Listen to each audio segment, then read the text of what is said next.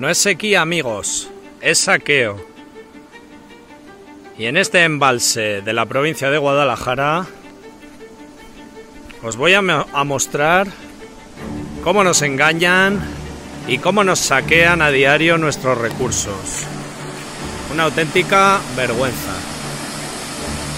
Una auténtica vergüenza nuestros políticos, el Ministerio de Transición Ecológica y Reto Demográfico, los ecologetas y las confederaciones. Una auténtica vergüenza, amigos.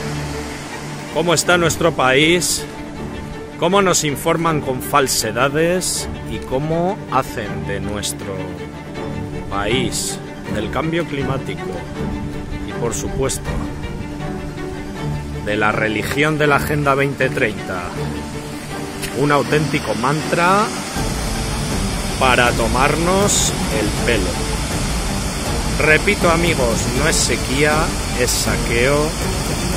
Están acabando con España, están acabando con nuestros recursos y nadie hace nada para impedirlo.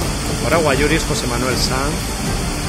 Síguenos en TikTok, síguenos en YouTube, síguenos en Telegram, síguenos en nuestro pequeño periódico Aranjuez Directo y por supuesto no creas nada de lo que dicen los grandes medios de comunicación.